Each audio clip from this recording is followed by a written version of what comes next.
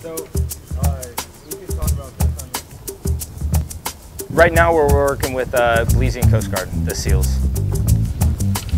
The main topics we were going over today was uh, ground signs awareness and uh, route selection. So picking a safe route and using ground signs to pick the correct route. Once you don't cross the RV and then fucking kvann hit onto avfalltaget. These skills are designed to get you from point A to point B safely so that you can, at point B, you can do your mission at hand. Spelar, spelar. We've put certain things in the ground, um, buried some stuff, and basically had them walk a road and mark things that they see as suspect.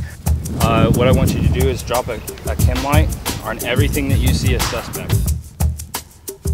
The main tool that we're focusing on is uh, their eyes. You can be issued everything, you can go to the store and buy whatever you want, but your eyes are your number one tool. Good job. That's, I mean, that's obviously something. Uh, the area that they operate in all the time is completely different than what we have. So it, it kind of makes us take a step back and look at our, our method of doing something versus their method of doing something. You're kind of silhouetted against the beach. But if you use that road, then it's just like jungle on either side.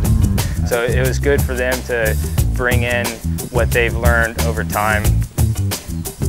I'm EOD 2 Josh Lamb from EOD Mobile Unit 3. I'm here for Southern Partnership Station.